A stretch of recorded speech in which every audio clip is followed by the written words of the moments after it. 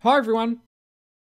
Along with several other chord types present in the four diatonically harmonized hexatonic scales are the major and parallel minor triads located on each degree of the scale's first augmented triad. Given their location, these major and minor chord pairs are related by chromatic major third and collectively form a series of chords which in various guises have been used since at least the classical era and which are now often known as a hexatonic cycle.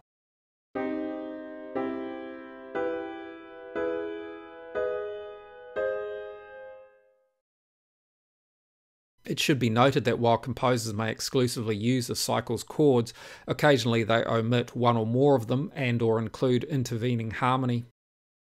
Any additional chords, however, typically don't affect the cycle chords relationship but merely prolong one or more of them. I'll return to these points later in the video using idealized voice leading moving successively in either direction beginning from any one of the cycle's chords, each triad shares with both of its neighbours two common notes. Against these static notes, a changing third note alternates between ascending and descending semitone motion. Major and minor triads are also alternated.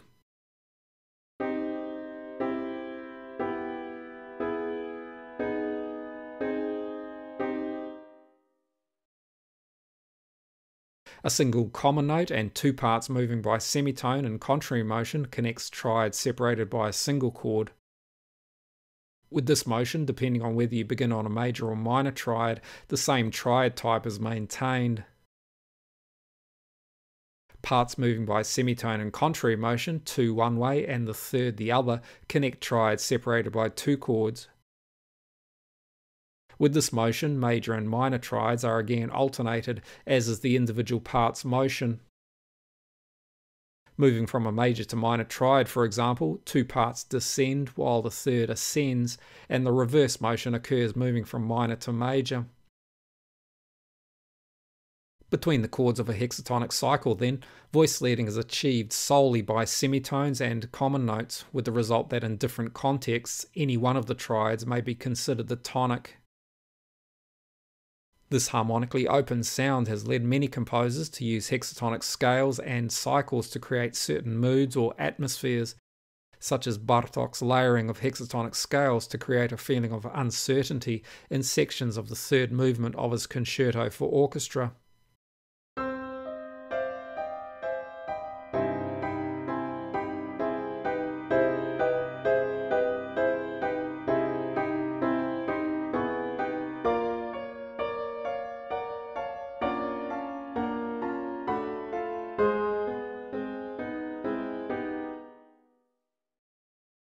The harmonic openness of the cycles also means they are often used in modulatory or developmental sections or in any location where a definite key center is not desired.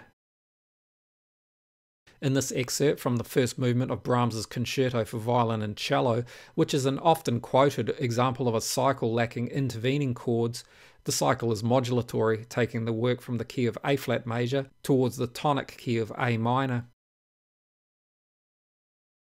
Here the cycle can be heard as being based on an E augmented triad, with the root notes of the A flat chords enharmonically sounding as the augmented triad's third degree.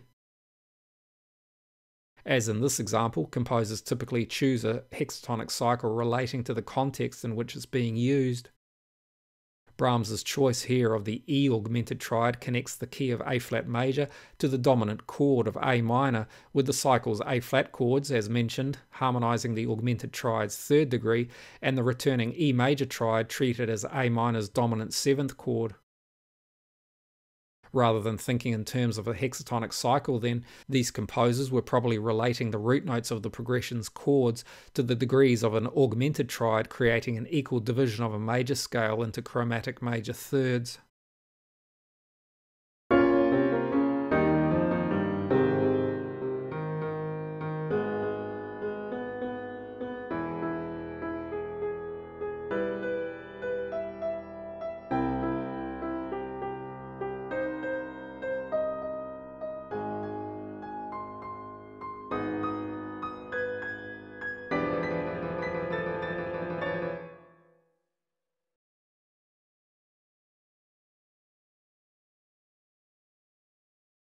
In this excerpt, also, the A sections of the Adagio's ternary form essentially remain in the work's tonic key of B flat major.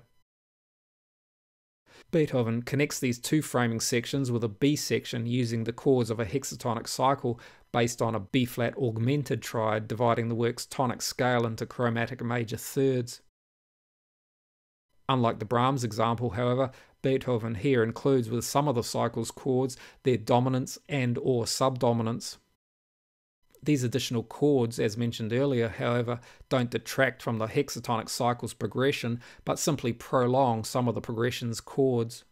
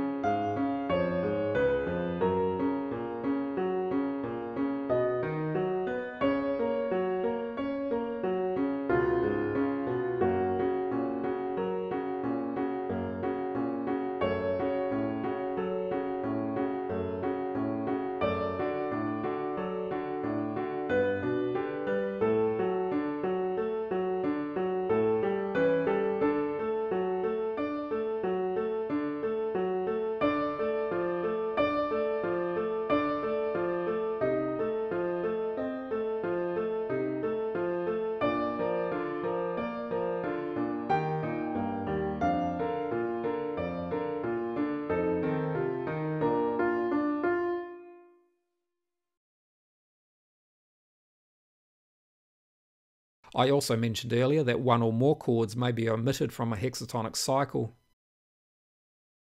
In this song, for example, Schubert connects the end of a section in G major, which is now moving into its relative key E minor, with a return to the work's tonic key G minor using a partial hexatonic cycle, which may be heard as being based on a G augmented triad.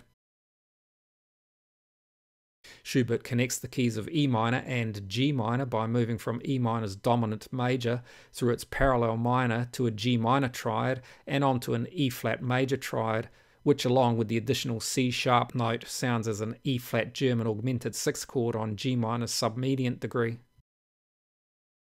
The German augmented sixth chord then resolves to a cadential 6 4 progression in the key of G minor.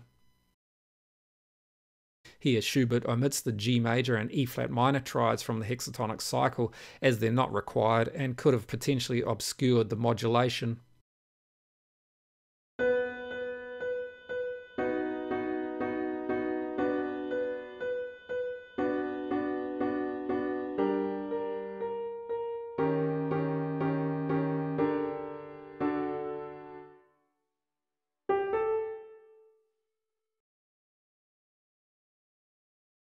Just as composers, we're probably not using the label hexatonic cycle to explain these chord combinations, but we're instead relating them to the degrees of an augmented triad and the equal division of a major scale. So, too, the analysis of these chords may be based on a similar augmented foundation connected by common notes and semitone motion. Another perspective, however, may be achieved using triadic transformation theory, which labels the successive motion between the cycle's chords using P to indicate the motion between parallel major and minor triads, and L to indicate motion between triads which share a minor third and whose root notes are a major third apart. Motion between triads separated by a single chord use compound transformations PL to indicate motion between major triads, and LP to indicate motion between minor. And the transformation H indicates motion between triads separated by two chords. These motions may also be represented on a Tonnetz on which the hexatonic cycles occupy the southwest northeast diagonals and are flanked by augmented triads. The motion of all the previous examples descends through the relevant cycles, and in each, the augmented triad on which the composers were perhaps basing their progressions are on the left. The Brahms and Beethoven excerpts move through the complete cycle using P-L transformations, while the Schubert cycle begins with a P transformation before using a compound LP transformation to bridge the missing G major triad, to then end with an L transformation onto E flat major harmony.